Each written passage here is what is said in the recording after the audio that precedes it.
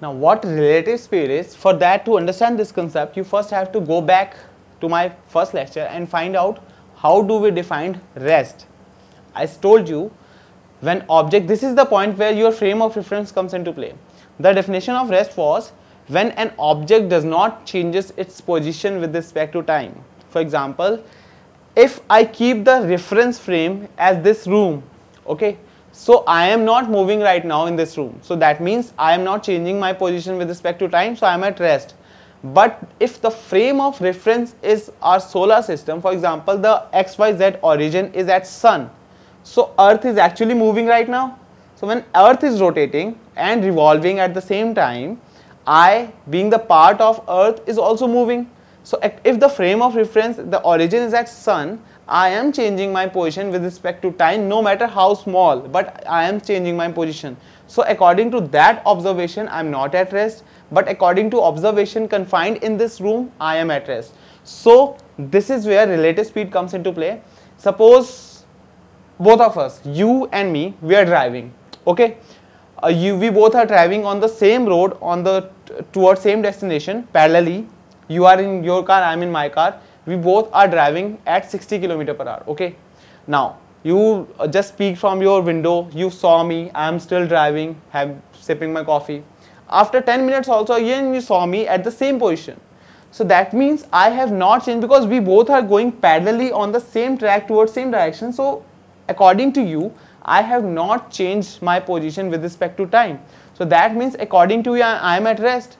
But according to a person who's sitting on the road we both went zoom. We both were driving at 60 km per hour. So according to him we both are moving but according to you i am at rest. Because that is what the definition of rest stated that unless and until object changes its position with respect to time time is the main thing. So with respect to time the object is considered to be at rest. So my this is where relative speed comes into play. When you have to find the speed of one object with respect to another especially when both of them are moving so, what is relative speed? Relative speed is, I'll go back to definition first before moving on to the formula and the application. It is the speed of a particle with respect to another moving particle. That So, this whole statement uh, defines that both of the object or both of the particles are moving. So, I'll take two basic scenarios.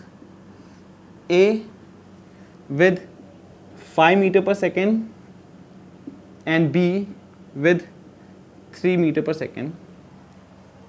And next scenario is A with 5 meter per second and B with 3 meter per second. Okay? The only change is the direction of B. This way both of them are going to in the same direction and this way both of them going in opposite directions. So how do we find how do we uh, apply, apply the value the formula of relative speed? See relative speed has a very basic application that you can measure the velocity or speed of any other object only and only if you are stationary. Even if you are also moving then you cannot find that. The value won't be uh, accurate. So for that who, whichever particle is to be measured will be measuring the speed of another particle.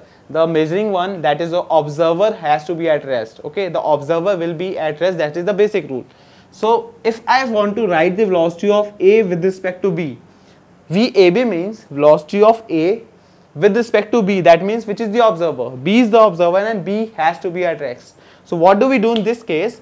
This is the whole system like this whole system having these two bodies moving. So I apply a negative velocity of the observer on the whole system. What I am doing is suppose there, there is a conveyor belt here okay? Uh, you must be you will be more familiar with this thing the escalators in when shopping malls and in metros there are escalators right? So consider that the escalator steps which is automatically going upwards like this way like upwards it is moving at one step in one second okay? And it is going upwards. In that is the speed of it is one step goes up in one second. Now you are on that escalator and you are you are what you are stepping down on the escalator at the same speed one step in one second so the escalator is going up speed 1 meter in 1 second oh sorry that is one step in 1 second and you are coming down you are actually walking down same way ways one step in one second. So what exactly will be your position? No matter how long you will walk, you will be still at the same point because the relativity is zero here, right? So to make sure what the speed of other thing, you have to bring one thing at rest. That is how the other thing will be finally showing its response, how the speed is affecting the other thing, right? So here, what I was explaining you guys was to do relative speed questions and we will be doing the same thing in vectors. It is very important part that just superimpose that negative velocity of observer on whole system. That is what I am doing is negative velocity is I am applying 3 on both the positions, so both the objects. So what happens? This negative 3 that is negative velocity of 3 means the opposite directional velocity. That is it. Negative doesn't mean minus 3 putting minus 3 on board it just means the direction opposite direction velocity on both the objects. So what will happen?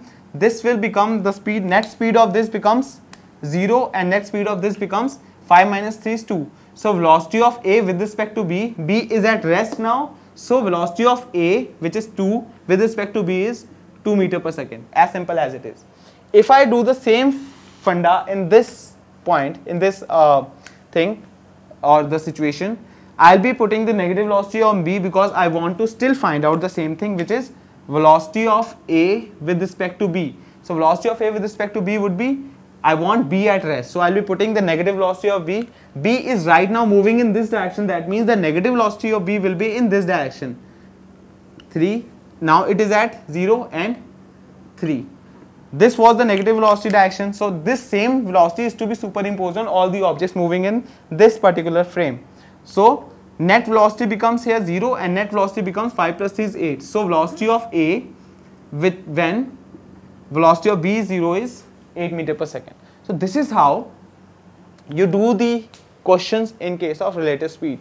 Now there is a formula for it also. I wasn't giving you the formula up front because I wanted you to understand this concept of superimposing the negative velocity because if you do this way you it will be easier for you to understand the vector questions but if you want to know the formula formula is very simple the formula is always this va minus vb velocity of a with respect to b is va minus vb okay.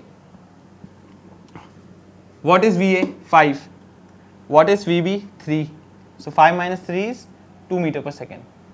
Same here. What is va 5 what is vb not 3 it is minus 3 because in such questions you have to be direction dependent. If objects are moving in same direction you consider that direction positive and whatever comes in opposite direction that will be negative. So 5 minus minus 3 so answer becomes minus 8 right?